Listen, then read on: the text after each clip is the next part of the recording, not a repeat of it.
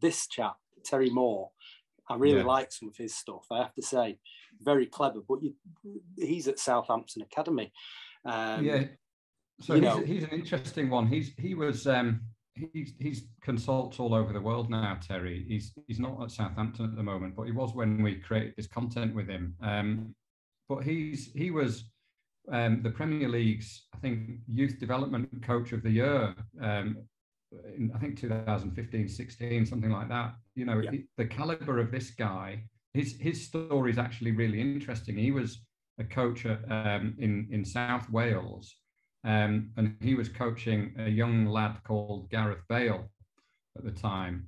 So when um, when Southampton were interested in this young lad Gareth Bale to go and play at Southampton's academy, they also recognised that Gareth's coach um, at the time was also extremely um, talented coach, and, and that was Terry. So that's why um, Terry ended up at Southampton. He kind of went there at the same time that they took Gareth, and he, he worked with him through that process when he was at the academy. So an exceptional coach, Terry, and, and probably a new bit of information for you there, Nick. It is. It is.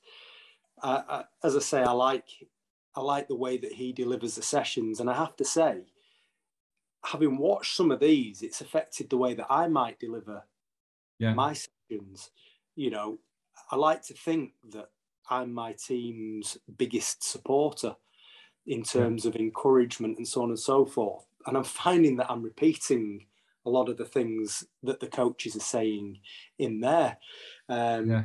Probably a subconscious thing rather than a conscious choice. Well, but that's interesting because that's that's quite intentional by the coaching manual is that it's all well and good finding a, a, a, static session or getting a book of sessions that kind of shows you how to set a session up and and what that session's about but it's very key to what we do and how we see the game in, the coaching manual that it's it's much better for coaches to actually watch experts deliver and look at how they build rapport look at how they I mean, Terry Moore's a brilliant example. He's so calm and so um, easy natured with his players, but his standards remain impeccably high. So he's very quick to identify when things haven't been done correctly by players, but he corrects them in a really nice, soft, and uh, very informative way. And I think if that kind of behavior rubs off on on coaches, like you're saying it is with you, then that's kind of job done for us because it's not about